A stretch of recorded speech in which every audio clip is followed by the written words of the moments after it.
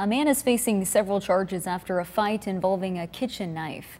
It happened around 3 a.m. near North 148th Street in Holdrege.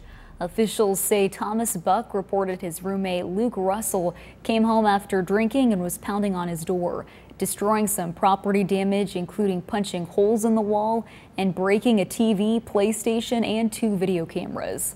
Officials say Russell was challenging Buck to come out and threatened him with a kitchen knife. Buck then grabbed a taser to defend himself. Officers took him into custody.